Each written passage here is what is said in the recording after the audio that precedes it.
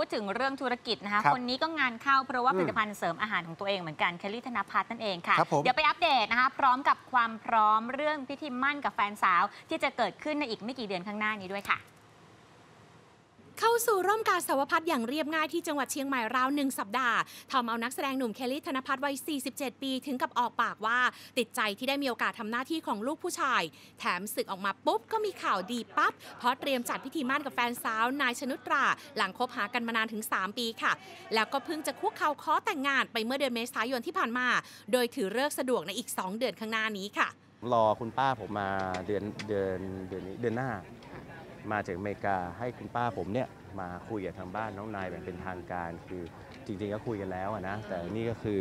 ให้ให้ถูกตามประเพณีไทยอะครับสองเดือนนี้คงคงอย่างนั้นครับจริง ๆ อาจจะประมาณเนี้ยเดือน 2 เดือนนี้ครับ พร้อมกันนี้เคลลี่ยังเดินหน้าเคลียร์ปัญหาเรื่องธุรกิจอาหารเสริมของตัวเอง หลังมีคนร้องเรียนว่าทานไปแล้วเกิดอาการหัวใจสั่น และทางสาธารณสุขขอนแก่นจะอมาประกาศว่า พบส่วนผสมของสารไซบูทรามีน ในผลิตภัณฑ์อาหารเสริมนั้น ซึ่งด้านเคลลี่เองก็ไม่ได้นิ่งนอนใจ รวบรวมหลักฐานเตรียมตั้งโต๊ะแถลงข่าวเร็วๆนี้ พร้อมยืนยันว่าผลิตภัณฑ์ของตัวเองถูกต้องตามกฎหมายกำหนดแน่นอนค่ะ ที่ผ่านมาเนี่ยก็เราได้รวบรวมหลักฐาน เราได้ไปหาข้อมูล เพราะตอนแรกที่ ที่เอ่อมีข่าวออกมา ยังไม่มีใครแจ้งทางบริษัทหรือทางอ่าโรงงานเลย